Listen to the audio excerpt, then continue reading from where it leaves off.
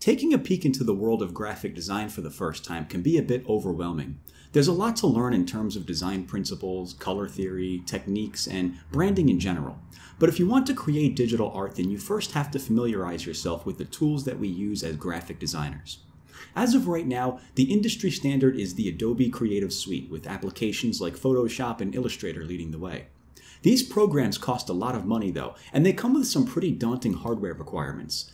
This can be a bit off-putting for someone who just has a casual passing interest in graphic design. And because of this, you may find yourself looking into free alternatives like Inkscape and GIMP and wondering what the differences are. In this video, I'll be comparing both applications, going over what their intended uses are, the pros and cons of each, and most importantly, I'll be helping you determine which one is best for you.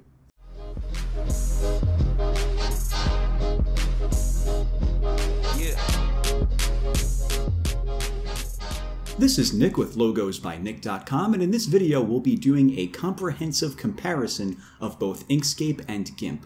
The first thing you need to understand about Inkscape and GIMP is that although they're both free and open source design applications, they're actually quite different. Comparing Inkscape versus GIMP is no way an apples to apples comparison. They're two very different tools with very different intentions. Let's have a closer look. Despite the various different types of graphic formats that exist in the world, the types we'll be looking at in this video are raster and vector, and it's important to understand the differences between these two because they both represent the intended uses for Inkscape and GIMP. Rasterization is a digital imagery format where the image is made of individual colored boxes known as pixels, and it's the format that you're probably most familiar with. This is commonly used in things like photos, JPEGs, and other types of imagery you commonly see on the web. The raster format is preferred if you're going to do any kind of design work where you'll be editing photographs, but it's not ideal for things like illustrations and designs where you need clean lines and crisp edges. Vector graphics, on the other hand, are a different type of imagery format altogether.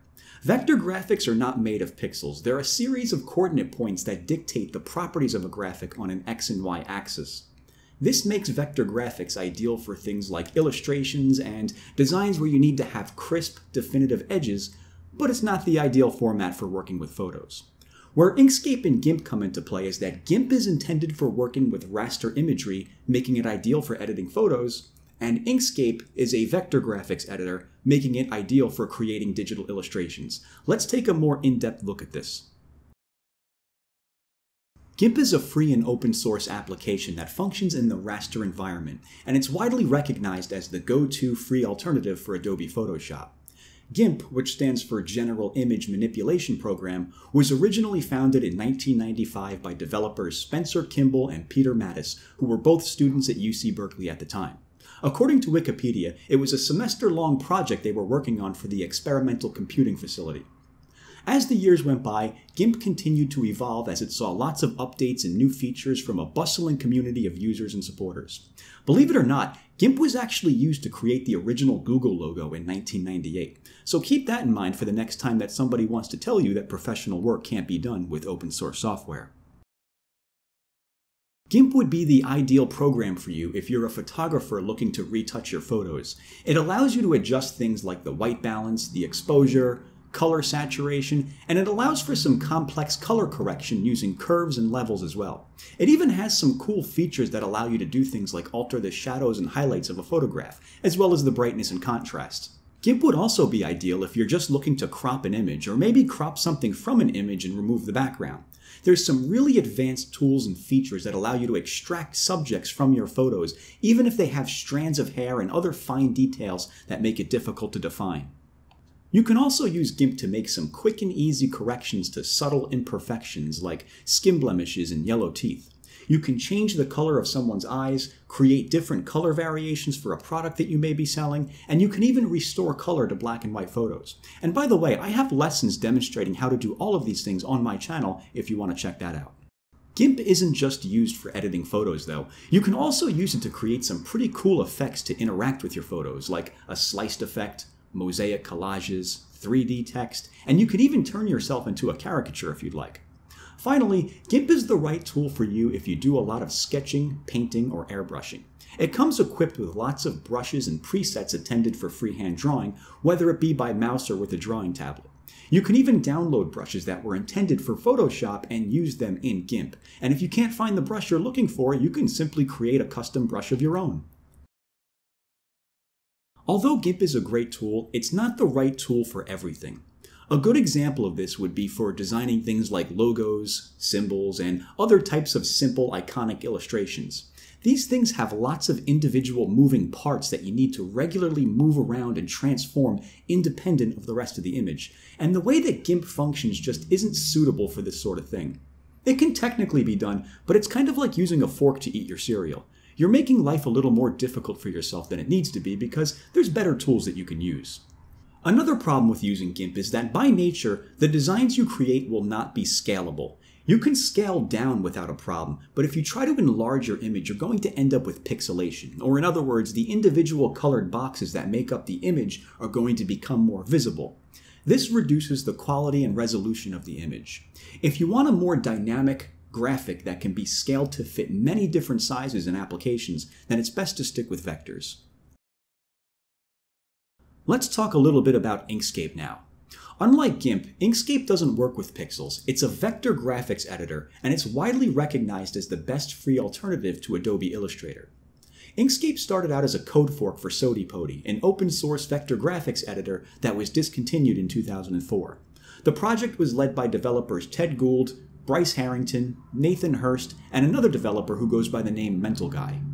Inkscape has come a long way since then. They've added lots of useful features like live path effects, text manipulation, and various third-party extensions.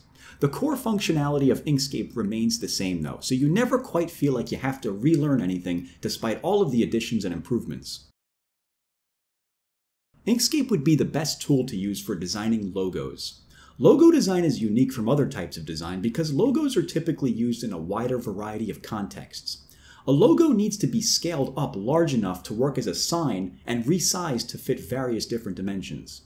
One of the benefits of working with vector graphics is that they can be scaled up infinitely without quality loss. This means that you can take your logo and enlarge it for use on a billboard or the side of a van without having to worry about pixelation. The vector format is the best platform for providing a logo with the versatility that it needs. Inkscape is also useful when it comes to creating simple illustrations like icons, buttons, and user interface. Inkscape makes it easy to work with simple shapes and objects that can be combined and transformed into whatever you'd like. You can also adjust the coordinate points of an object, otherwise known as nodes, to create your custom shapes. Another thing Inkscape is great for is creating digital illustrations, mascots, and characters with a cartoon-like style. This can technically be done with GIMP as well, but the vector format allows you to give your illustrations clean, crisp, and definitive lines, making Inkscape the ideal tool for this. And if you're creating characters for a 2D game design, then you're going to need the scalable benefit of working with vectors as well. Inkscape would also be the best tool for designing graphics for mobile applications like app icons, splash screens, buttons, and various other types of user interface. The vector format is great for this because it provides the versatility needed for these designs to fit any screen resolution without quality loss. Finally, the illustrative nature of Inkscape allows you to create some other unique types of designs like infographics, charts, and repeatable background tiles with an abstract pattern. One of the downsides of Inkscape is that you can only work with photos in a very limited capacity. Since Inkscape is intended for creating vector designs, there's really not much you can do with rasterized photographs. You can create clipping paths to remove the backgrounds, or even use them as a texture mask if you like, but that's about it. If you're looking to do any kind of extensive photo editing, you're better off sticking with GIMP. Another downside to using Inkscape is that it's not ideal for doing any kind of painting or sketching. There are tools that allow you to paint and sketch in Inkscape, but they should only be used in a limited capacity. The way that vector graphics works is that you'll put a lot of strain on your hardware if you create too many brushstrokes and the file size will be enormous. Not only that, but you won't get all of the brush settings and realistic textures that you get with something like GIMP. The application that you should use when choosing between Inkscape and GIMP depends entirely on the type of design work you're doing. If you're working with a lot of photos, you should probably stick to GIMP, but if you're creating simple illustrations, then you're better off with Inkscape. One software is not objectively better than the other. It depends entirely on the context of what you're designing. If you're wondering if it's more important to learn one over the other, it's not. They're both equally important. As a graphic designer, you should familiarize yourself with both vector and raster design. Knowing how to work with both allows you to create some really dynamic designs combining elements from both Inkscape and GIMP, and it'll make you a more complete designer as well. If you'd like to learn more about Inkscape and GIMP, I have hundreds of tutorials on this channel that will walk you through each step in such a way that even a first-time user could follow along. I also have video courses for each application where I go through every tool and feature and explain how it all works. And that should do it for today's video. If you have any questions for which software you should use for a particular type of design that I may not have covered in this video, just leave a comment below. And as always, thanks for watching.